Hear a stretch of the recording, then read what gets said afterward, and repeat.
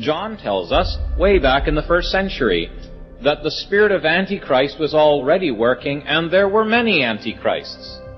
We must never forget that Satan is not equal and opposite to the Lord.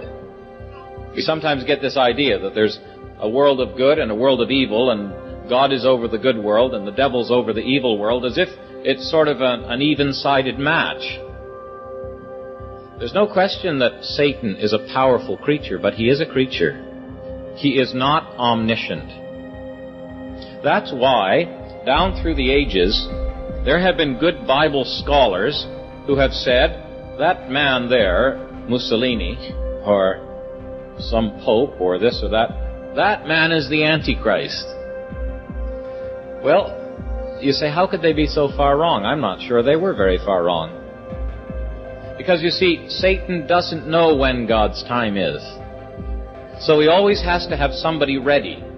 And he's grooming him in the wings. And there's no doubt about it that Mussolini was Antichrist, wasn't he? And so the old devil, he doesn't know when God's time is, so he always has someone ready.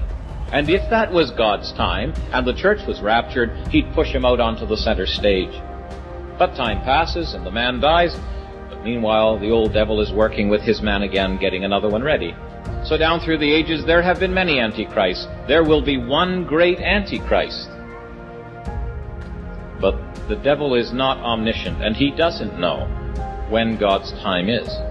So we recognize that even though the devil does his nefarious work, over him is the hand of God. And that God works good out of the devil's evil, doesn't he? You know that uh, there's a radio station at Monte Carlo which was built by Adolf Hitler to propound his nefarious propaganda across the Mediterranean. It's now used 24 hours a day to preach the gospel. And there are many such examples. We don't have to go to Monte Carlo, do we? We can look into our own hearts and lives. And we can see those times when, like Peter, Satan has desired to have you that he may sift you as wheat. But in the overruling providence of God, God used that experience to purify Peter. And Peter was still sifted. But the result was very different to the one that the old devil wanted. You think of Job. Now, the devil wasn't after Job. Job was small potatoes. He was after God, wasn't he? If you take these things away from Job, he'll curse you to the face. That's what he wanted. He wanted to rob God of glory. But the end of the story tells us what happened. That God got more glory, greater glory, through the sufferings of Job. The grand example of this is the cross, isn't it? That at the cross, the old devil thought he had won his greatest battle, but in fact it was his death knell.